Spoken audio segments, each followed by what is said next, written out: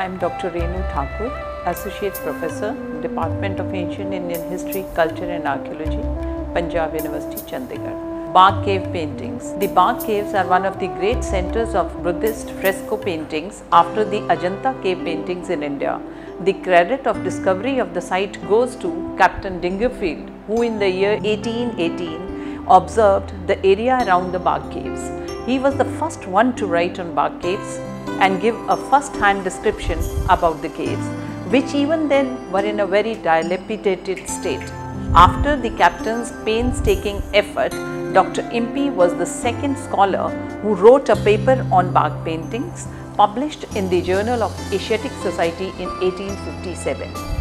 The Bagh Caves in the Gwalior state, a book edited by John Marshall and his colleague J.P.H. Vogel in 1927 gave an excellent theoretical explanation about the caves with some visual treats. A special issue published by Marg in the year 1972 under the title Rhythm of Dance and Music in Bagh gives a fabulous description of the art as well as the architecture of the caves. More recent works on the paintings in the caves include Anupa Pandey's The Buddhist Cave Paintings of Bagh published in the year 2002 followed by a book written by Meena Talim Identification and Interpretation of Bagh Paintings. One of the most recent monographs on Bagh and Ajanta paintings is by Walter Spink in 2017. It gives a comparative picture of both the caves. Now we will discuss geographical and topographical location. The Bagh caves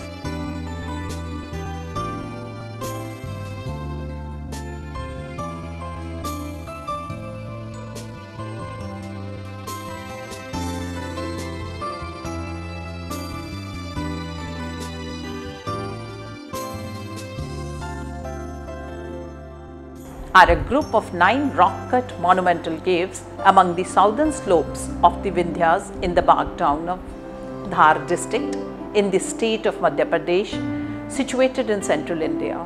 The emergence of the name Bagh was due to the river Bhagini flowing nearby the caves located approximately 240 kilometers to the northwest of Ajanta. Scholars claim that Bagh was contemporaneous to Ajanta cave paintings as the artistic style of both are somehow similar to each other. What is interesting is that all the nine caves are vihars and there is no Chaitya hall here. Though the main caves that have a quadrangular plan do have a sanctum in the back wall that houses a stupa forming a small chapel. The caves are in a very dilapidated condition which is quite evident from the fading of the paintings. The frontages of the caves extend over about 750 yards. The landscape around the caves is surrounded by good forest cover which is evidenced also from the surviving paintings where the natural flora, variety of flowers, fruits, creepers and foliage is depicted in the borders at the corners of the images. The caves look especially beautiful during the rainy season when river has water and forest is lush green. During the ascent to cave, one meets many springs but the heavy rainfall in this district creates problems as well as it has helped to speed up the natural processes of the deterioration of the caves and it hinders access to them. The remnants of the paintings were very few even in the early 20th century. The primary reason for the deterioration of the painting is accredited to natural factors. In an otherwise basaltic region, the cliff side where the cave have been excavated is of sandstone and resting about this layer is a band of clay stone. The weight of the clay stone and the moisture percolating from it have been the factors chiefly responsible for most of the damage to the caves. In fact, after the roof of the veranda in some of the caves collapsed, exposing the cave to direct weathering, the tempo of deterioration has been so fast that even copies prepared by A.K. Haldar and Nandlal Bose have to be mentally reconstructed today and from surviving fragments of line and color. Now we will discuss the historical background of these caves. The rich heritage of Indian art during the ancient period includes monumental and sculptural art, along with which fresco paintings too are significant art form, especially during the reign of the Guptas. The paintings at Bagh, not as popular as the Ajanta frescoes, have in comparison been somewhat overlooked and ignored in the field of paintings, though over time scholars have increasingly focused on them. The caves were the work of Mahayana Buddhists. The painting at Bagh seem as if they were all executed at the same time or were conceived as a single scheme. According to the Dashkumar Charita, the ten princes composed by Dandin in the 7th century, the Vakata king Harisen had a son who ruled over the Bagh region. A copper plate inscription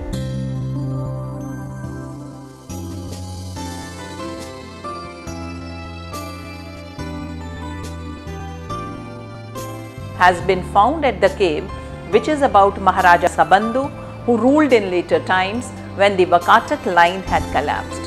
Therefore, the caves can be dated somewhere between 470 to 480 AD, when the king Subandhu provided money for repairing the broken Bagh caves.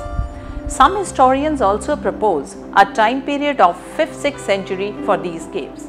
Now we will discuss the paintings. The significance of Bagh paintings can be assessed from a statement by Marshall in his work. The school which these paintings represent was the source and fountainhead from which the art of Asia drew its inspiration and no one can study their rhythmic composition, their instinctive beauty of line, the majestic grace of their figures and the boundless wealth of their decorative imagery without realizing what a far-reaching influence they exerted on the art, not of India alone and her colonies, but of every other country to which the religion of Buddha penetrated. In comparison to Ajanta, the paintings at Bagh are fewer, yet the quality of these paintings makes for a captivating visual experience. The subject matter of the painting is Buddhist. The Jataks along with the depiction of Buddha and the Bodhisattva, though there are also the depiction of secular figures such as Persian lady or a female musician. Total paintings are found in caves 2, 3, 4, 5 and 7. Although in most of the caves there are only fragments of the original decoration with the most work visible in cave number 3 and cave number 4. In fact, cave number 4 is the largest in the series both in terms of structure and ornamentation and the extent. Evidence suggests that it was once profusely decorated with paintings the main scenes are located in the veranda of cave 4 and cave 5. In fact, the best preserved portions of the Bagh paintings is found on the inner wall of the veranda of cave 4. The paintings have been identified differently by various scholars and have for long remained a puzzle. The main scenes in the veranda represent the following. Now we will discuss scenes. Scene 1. Two women are seated in an open pavilion with one of them weeping while the other seemingly consoles her. The scene 2 discusses in a grove four men seated and appear to be in a serious discussion with one who looks like an ascetic sermonizing. Scene 3 discusses a group of male figures in the upper section of the work and below a group of female musicians with just their heads visible. The fourth scene discusses two groups of female musicians playing musical instruments as a male figure is shown in the center of each group. The scene 5, a cavalcade of horses with riders who seem to be nobility. In scene 6, a procession of elephants led by a young man of noble birth. The scene 7 discusses in a grove, two men shown seated with one preaching to the other. In this regard, J.P.H. Vogel states that it is a Jatak or an Avdan, whereas John Marshall identifies it as a representation of Mahajanak Jatak and Anupa Pandey is of the opinion that it is the representation of the story of Nand's conversion. Other scholars have identified the painting with two groups of female musicians with a male in the center as Hali Salasya, a folk dance with the dancers in a ring consisting of a double group of female musicians led by a man. There are other identifications of the paintings that shall be explored as some of the main paintings are discussed in greater detail. The detailed description and analytical discussion of some of the pa paintings in cave number 4 is as follows. Scene number 1. In this two women seated in an open pavilion can be distinguished easily. The one who is on the right side of the painting seems to be grieving as with her right hand she has covered her face and the left hand is extended out in an eloquent gesture of grief. The woman on the left is seated in an elegant posture and seems to be consoling the grief-stricken women, possibly listening to the painful story of the woman. The woman who seems to be lamenting is simply attired in a white wearing just a hand ornament whereas the other woman is bejeweled, adorned with a beaded small and a long neck piece, head ornaments and a girdle around her waist. Her hair are tied in a knot and possibly adorned with flowers. This seems to indicate that the woman belongs to the elite class, maybe a princess. She has placed her left hand on the right shoulder of the weeping woman, a gesture of consolation. The postures of both women are very expressive, one of her deep grief and the other is of agony. She feels and other expressive of concern and empathy. Anupa Pandey underlines the success of the artist in conveying the grief of the woman who is weeping simply through the hands that communicate the emotion even when the face is not visible. There are traces of a pair of birds, those are pigeons, fluttering their wings on the roof of the pavilion where the women are seated, adding not just greater naturalism but also poignancy to the scene. The artist has employed contrast of colors, white against browns to impart freshness to the palette. His success also lies in conveying the emotions and the moods of the situation with such ease and success. Here the link of Bagh paintings with paintings at Ajanta is visible, particularly in the use of highlight on the lower lip and the bridge of the nose to give form a certain roundedness. There is difference in the perception of various scholars regarding the interpretation of this painting. According to Meera Talim, this painting is based on Malini Vastu of Mahavastu Avadanam, which is a full episode of the bravery of Malini, the daughter of the king of Benares, who was devoted to Buddhist monks and her devotion angered the commentary of Brahmins and they all persuaded the king to give Malini a death sentence. But with her intelligence and courage, she managed to escape this. As soon as the news of her death sentence came to her chamber, all the ladies inside were grief stricken and started weeping. According to Talim, it is this episode that is represented in the painting. She identifies the woman who is well ornamented as the princess, Malini and the second lady who is overwhelmed with grief and is covering her face with an upper garment as a woman from the lady's chamber. It seems that the weeping lady has come from outside and has disclosed the news to the princess.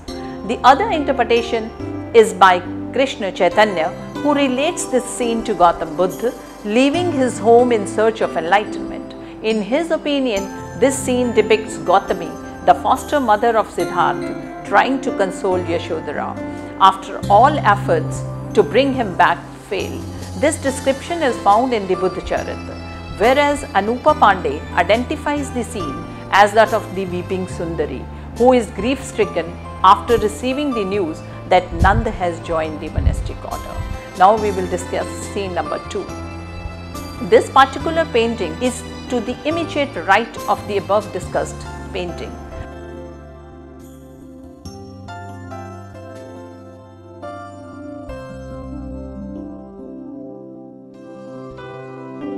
This scene depicts four male figures with a dark copper colored complexion. All four are seemingly involved in some serious discussion.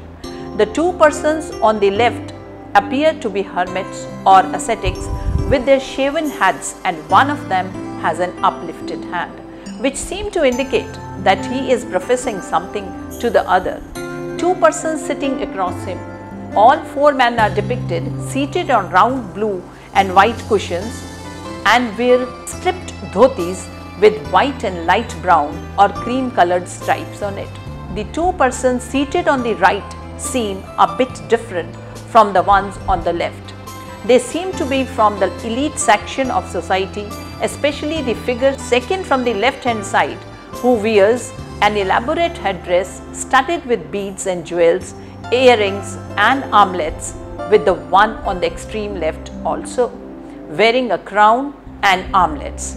Three of them wear double necklaces. The one who seems to be preaching is adorned with a single strand beaded neckpiece. There is a small child or dwarf like figure on the left side of the painting accompanying the persons on the left. He is blue in color, distinguished by a curious white crest, trefoil shaped on the top of its head. The scene is laid in a garden, park or a forest as is indicative from the foliage present in the background in the painting. Here the artist places dark figures against a dark green foliage background and yet the figures are clearly discernible. The entire atmosphere of an intense and serious discussion is here conveyed through the expressions and the hand gestures. Anupa Pandey identifies this as the sermon in the grove when Buddha gives a sermon to Nand explaining to him that if affection, desire and passion did not exist, then happiness would be his. According to another identification, this painting seems to be closely related to Vidhur Pandit Jatak, wherein four Brahmins have renounced the world. As per this identification to the left is King Dhananjaya engrossed in listening, seated cross-legged on a cushion. The expression on his face is one of involved in a serious discussion and listening attentively to his minister. All the five figures depicted correspond to the Vidhur Pandit Jatak. The Jatak narrates that the present discussion began in the beautiful park at Mangal Pokharani, hence it is very correctly painted by Bagh painters. In the third scene, we see that the scene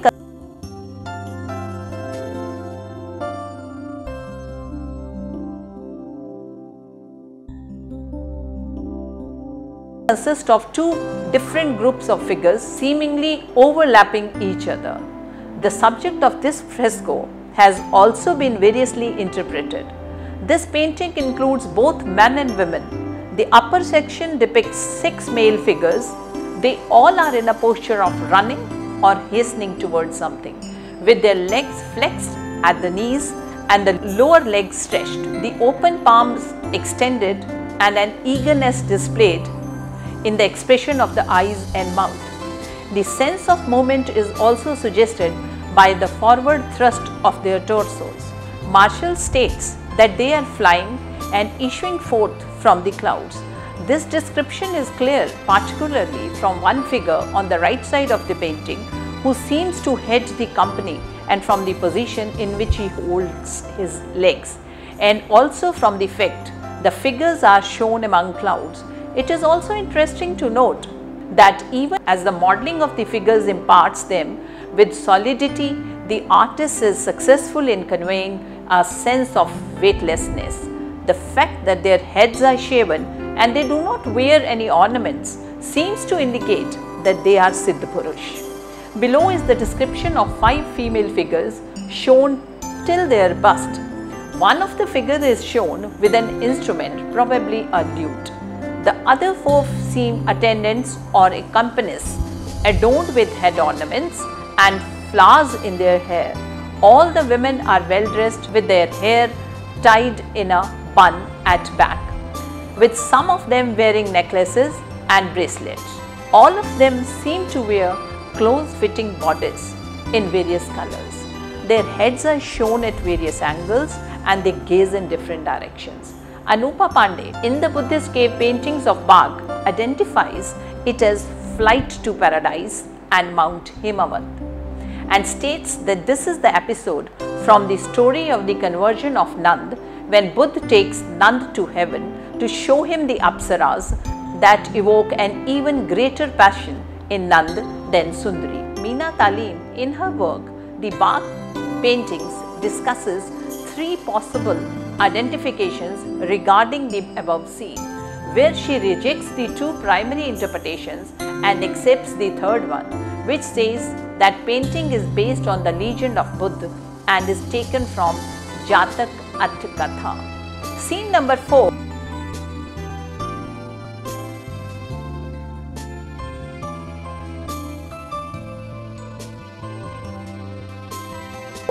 depicts two groups of women arrayed around a man in the middle. The group on the left has seven women and the men on the right eight women, both in a semicircular arrangement with a male figure in the center. The arrangement of the figure defines the space and the groups are well knit, with the artist establishing a connection between the figures binding them together with a fluid rhythm. The women apsaras are shown full figured with long thin noses, almond shaped eyes and full lips. Here too the bridge of nose, the lower lip and the chin are touched with white as seen in Ajanta paintings. Shown from different angles, their postures convey the rhythm of music that is being played by them on various instruments from drums to cymbals and sticks. Some of the women wear an upper garment and some of them are bare. This painting shows how the painters have played with colors to impart a rhythm and harmony to the image. The scene described here is separated from the next one to the right by means of a partition which presents the appearance of green colored wall with a white coping angularly placed. There is an inscription also beneath the painting in a very faded lines in Gupta characters. The male figures in the group on the left is well dressed with locks of hair falling on the shoulders with the palms here again colored in a distinct light shade like at Ajanta turned up. His expression conveys his wonder at all that he sees and a delighted participation in it. Whereas the male figure on the second group though participating in what happens around him appears to have overcome his awe. This is the scene that was one of the earliest for which an identification was suggested as that of the Hali Salasya, a folk dance with the dancers in a ring consisting of a double group of female musicians. Anupa Pandey identifies it as the paradise scene. Nand and Celestial Damsels, the episode from the story when Nand is amazed at the beauty of the Apsara in heaven and compares Sundari unfavorably with them. The scene 5 in cave number 4 depiction of scene number 5 is comparatively well preserved.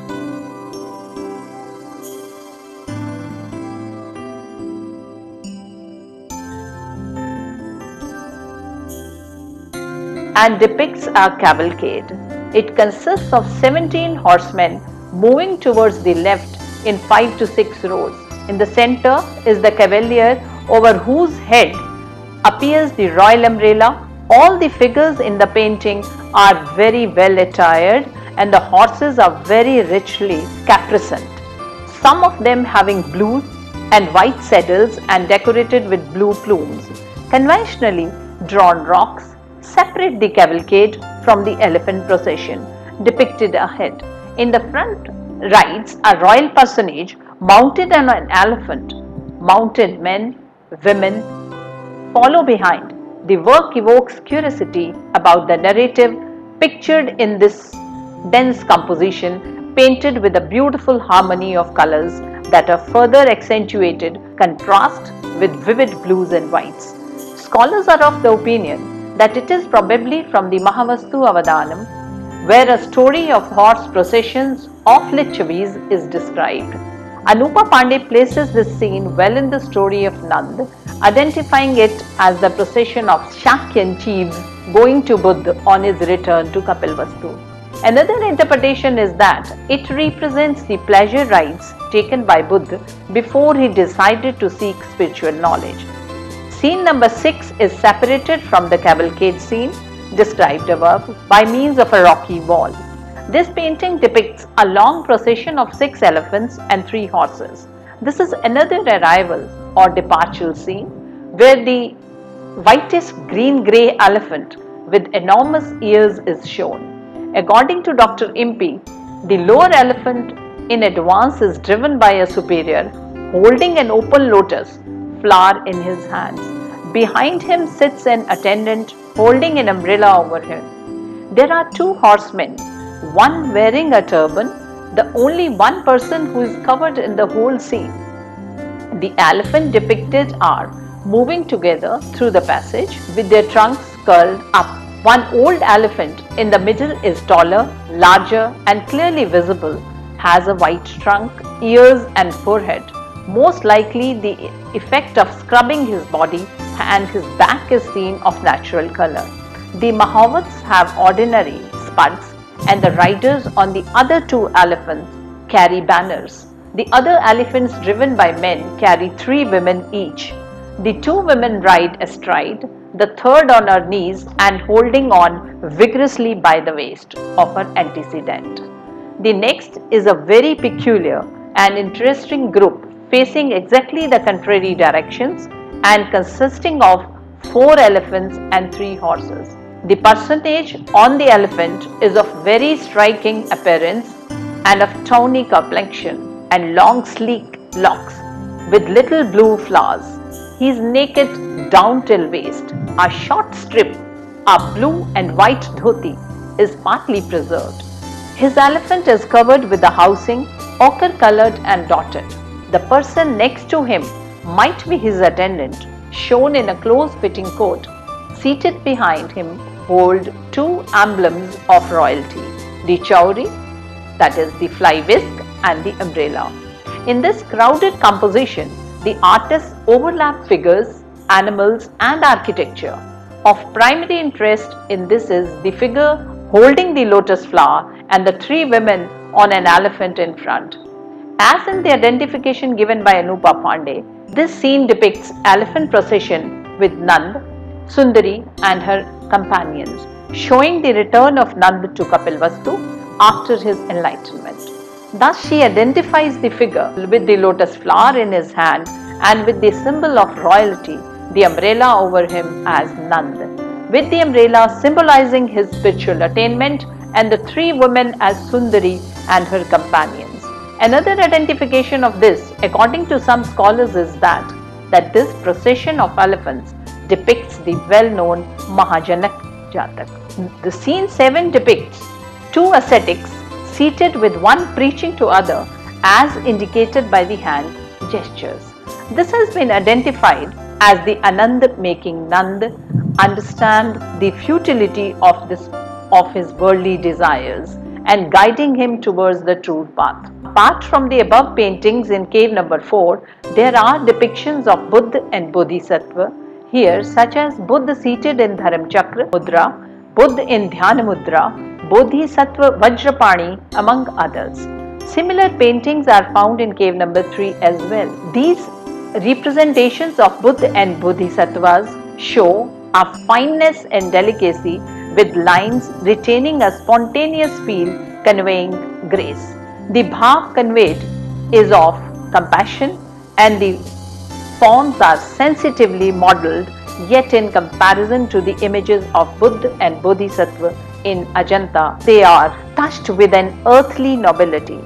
In the words of Anupa Pandey at Bagh, the paintings, despite their religious subject matter, are frankly secular, depicting contemporary life with its evident religious associations. Yet, an emotional discipline and a detached vision lift them above the transitoriness of daily life. Here, the Bagh artists are skillful in selecting an exact and apt incident from the Jataks. The artists of Bagh caves have been very thoughtful in the selection of the themes. They are not only eminent and skillful, but also very ardent in propagating the essence of the topic. Unfortunately, there are only few frescoes, but all the paintings speak of their mastery and devotion to art. Now we will discuss some scroll paintings. Bagh, apart from the main wall painting, has scroll paintings as well. They depict animals, bushes, flowers, fruits, foliage,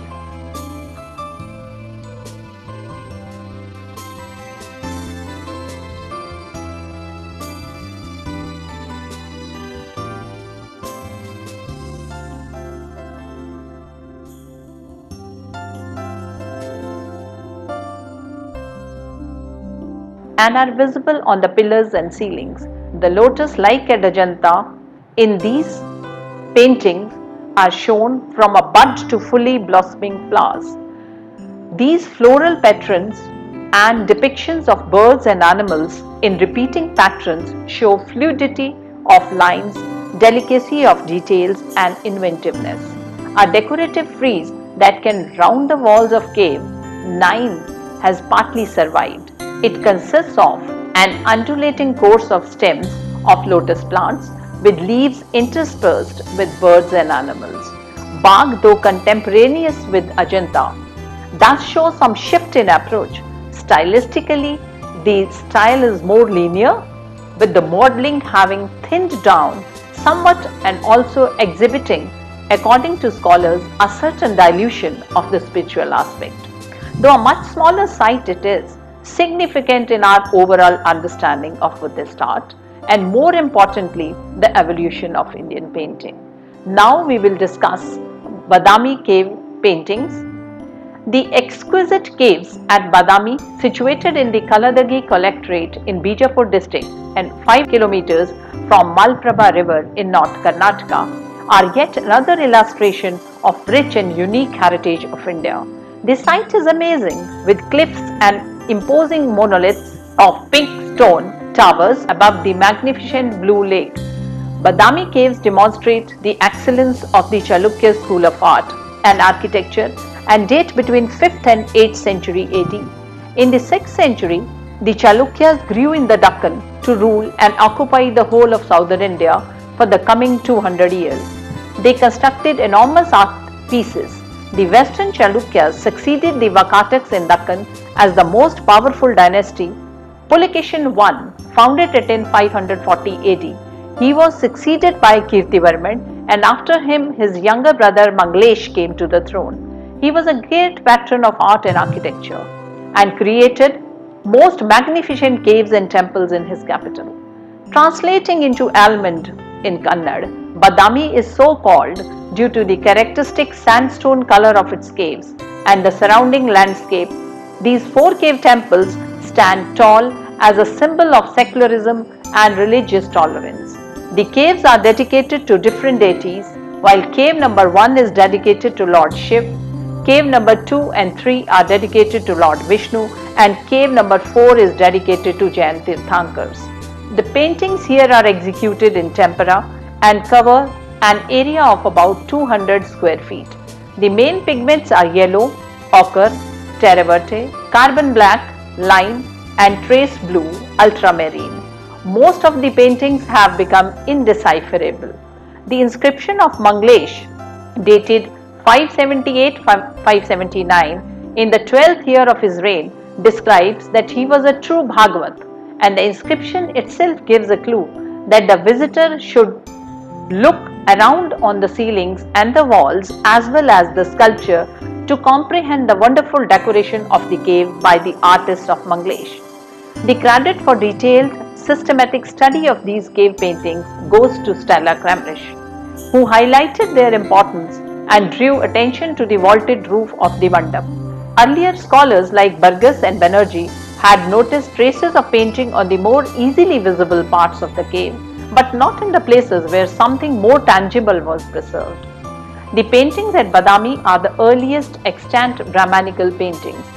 Now we will discuss the main content of these paintings. Cave number 4 shows Indra witnessing music and dance. This painting was identified on the roof of the front mandap where a large panel demonstrates a scene of a palace where the central figure is witnessing the music and dance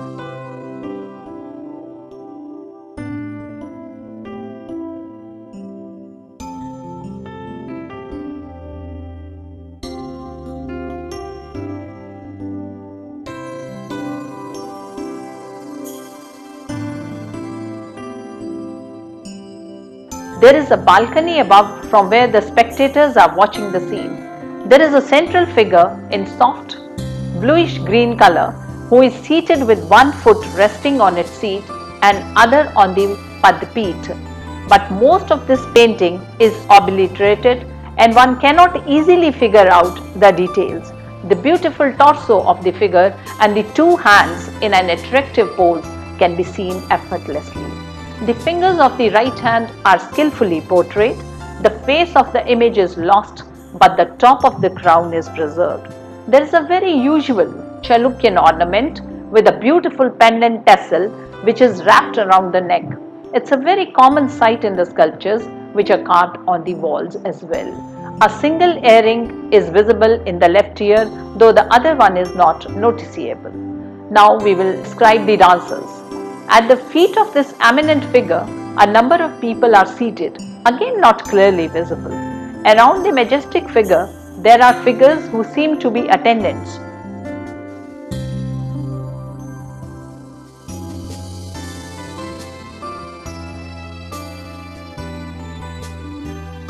Holding chummers, on the left side of the scene an orchestra is seen with two graceful dancing figures the woman is shown with her back towards the viewer and the male is shown facing the audience. The former has crossed her legs and is almost in Prisht swastik position with her right hand in Dand and the left hand in Kat Kamuk. The latter is dancing in the Chatur pose with the left hand in Dand Hasta and the right hand in Katak Mukh, raised somewhat in consonance with his eyes lifted upwards and envisaging something heavenly. The male dancers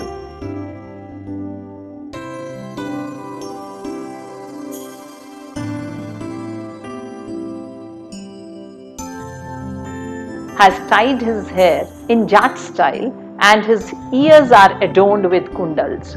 On the other hand, the female dancer is of darker shade, greenish blue. She has tied her hair in an elaborate style. She wears earrings, armlets and bracelets. The beauty of her body is well shown in the painting. Description of musicians. There are various instrument players seated and all are female musicians. There are two flute players, drummers, mridang players, evident from the instruments placed on her lap. There is another woman playing cymbals.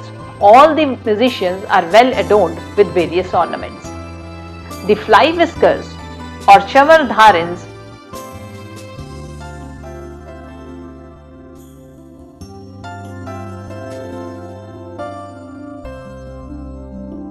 near the principal figure hold the flying whisk in a manner so as to rest sometime on hand or on shoulder. Now we will discuss these paintings. The scholar who witnessed this scene is of the opinion that the scene depicts Indra in his lavish palace. Vaijant enjoying dance and music. The female dancers are compared to the heavenly nymphs who practice the great art of Natya and the person near him is probably a teacher who is demonstrating his skill of dancing. Cave number 4, King Kirtivarman is seated with his queens is shown. The next large panel of equal size depicts King Kirtivarman seated with his queens. This painting exemplifies the great respect and honor that Manglesh had for his elder brother Kirtivarman. This scene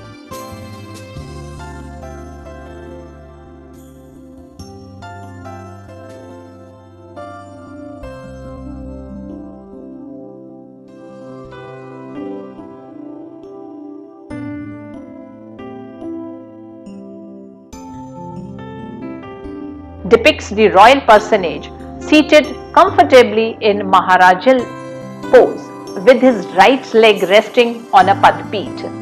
his left leg raised and placed on the seat, his left arm resting leisurely on his knee and his left hand held in Tripatak attitude. This princely figure rests on a cushion placed against the back of his seat. He wears a high crown and ornaments. There are several crowned princes seated to the right, waiting to receive his orders. Towards the farthest end is a woman dressed in a lower garment and holding a staff in her hand.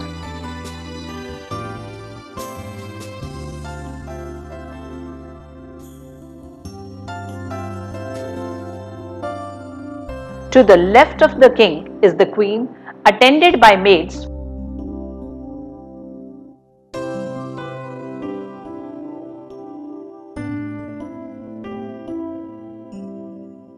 probably adorning her feet. The queen is seated on a low couch with a rectangular back decorated with a border pattern all around and with cushions against it. She is seated in an elegant manner. Her right leg touches the padpeeth, her left leg is placed on the seat itself. She rests her right hand on her seat with her left hand in a shuchi pose. The kundals drop from her earlobes. Other ornaments like necklace, Armlets add charm and beauty to her already charming figure. Her hair is dressed up elegantly in a dhamila fashion and the chikur ringlets of her hair are visible from her forehead. She covers her thighs with a cloth. The scene is laid in the inner apartments of the palace. This is evident from the perfect outline given to the architectural beauty of the palace. Among the chieftains below, there is one of Gaur or fair type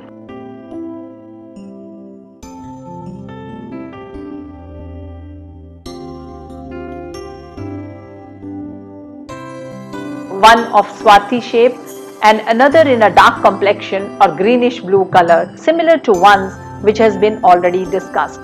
The figure probably suggests a king and his hand in Tripatak indicates two factors. One, attainment of supreme knowledge and the other of universal sovereignty on earth, either of which the king has in all possibility attained. He is shown with an oval halo around his head as in case of many Chalukyan figures. According to Shiva Ramamurthy, the two paintings seem to be so correlated that one seems to suggest the meaning of the other. There could not be better compliment paid to his beloved brother by Manglesh than by presenting these two pictures side by side, enhancing the power and worth of Kirtivarman as a king. If this portrait is not intended for Kirtivarman, then it can be of his father Pulikeshin I, who has so much laurels to his name. The Badami caves depict the flying pairs or Vidyadhars, one shown with his mate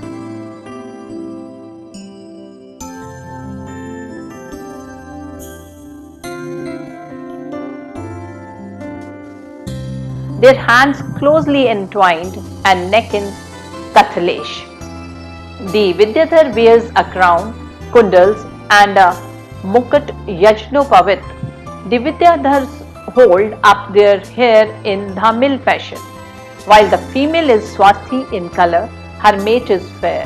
They are happily conversing as they sail amidst clouds soaring up high in air. The other is more beautiful, though less preserved.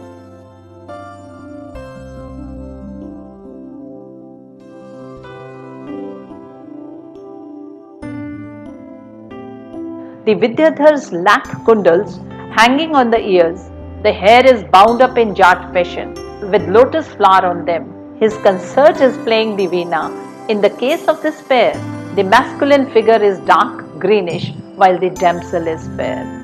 The cave number 4 depiction of Adinath Tirthankar.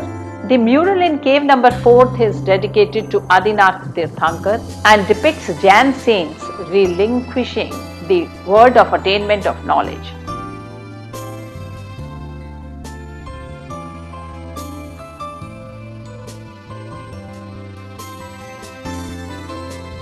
The image depicts the Jain saint sitting in center with half closed eyes in Dhyanamudra and his probable devotees or attendants around him with no clothes on their body. There are two people sitting on his shoulders The right one seems to be bare bodied, whereas on the left there seems a lady sitting fully attired. The Tirthankar is sitting in a very attentive manner with some kind of lavish attire on his body, with huge earrings and a halo beyond his head, depicting the enlightenment he has gained through penance. Cave number 3 There is a fresco depicting Shiv and Parvati in cave number 3.